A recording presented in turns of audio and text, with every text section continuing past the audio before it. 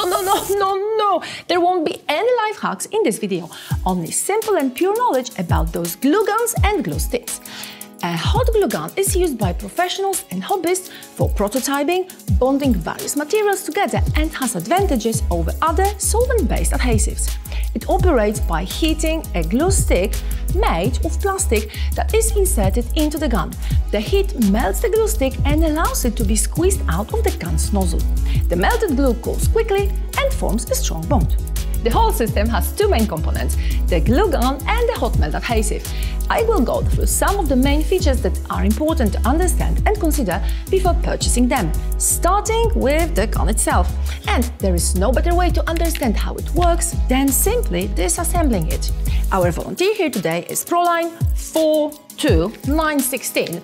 Well, unfortunately, you can't open it with a regular Phillips or slotted screwdriver. To unbox, you will need a tamper-resistant Torx Plus bit. Yeah, there is a special modification of the Torx bit that has a hollow center to undo those nasty screws with a small pin in the center. By the way, if you are looking for sets that include special bits like those tampered Torx or tri-wings, check our webpage. But today, I'm using this tool set from Hoegert Technik that has sockets. Wait, let me show you sockets, bits, extensions, and a compact 72 teeth ratchet.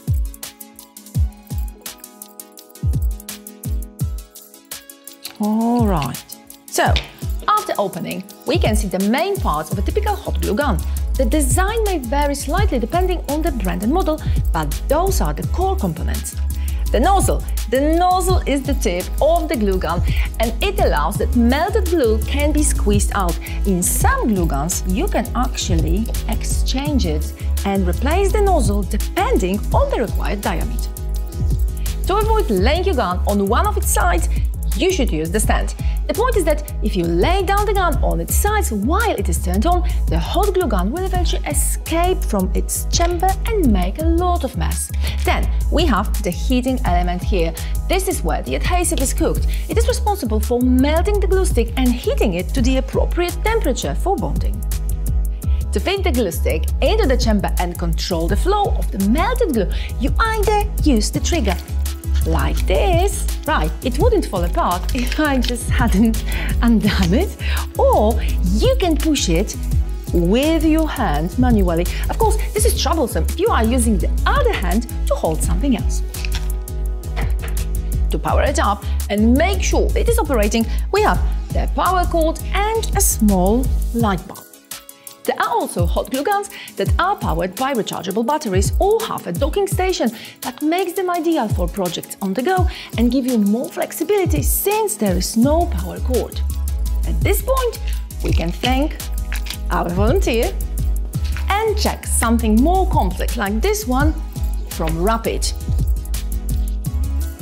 It has a power switch, so you don't have to unplug it from the outlet every time you want to turn it off. And a temperature controller that allows you to adjust the heat of the glue. This is very important depending on the material or the glue stick. And it has more power. The wattage determines the heat output of the glue gun, which affects the speed at which the glue stick melts and the overall performance of the glue gun.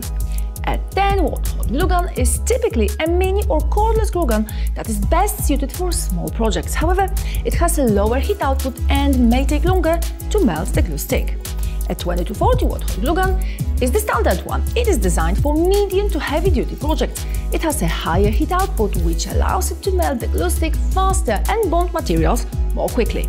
And then there is this 300 watt glue gun that is used for industrial applications. It can output 1.8 kg of hot glue in an hour and heats up to 130 centigrades in a minute.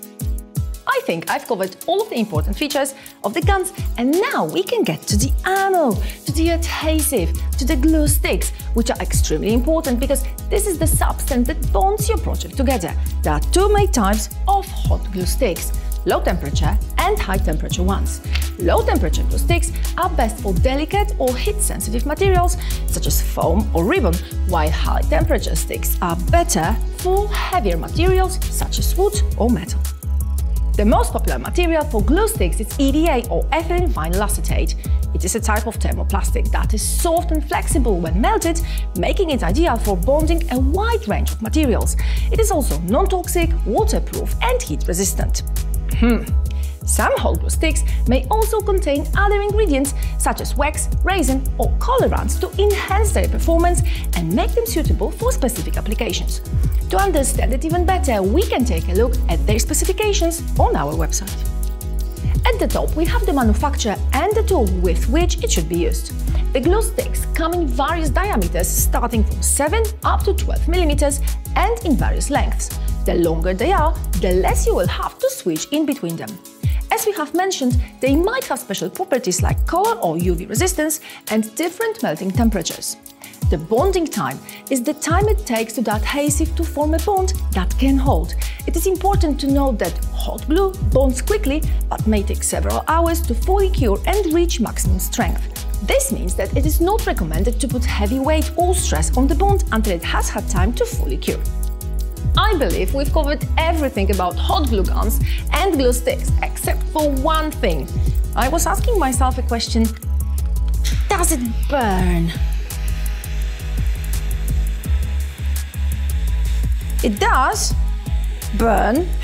Oh, and it drops in flames. So actually, all your projects can look like that, right? Wait.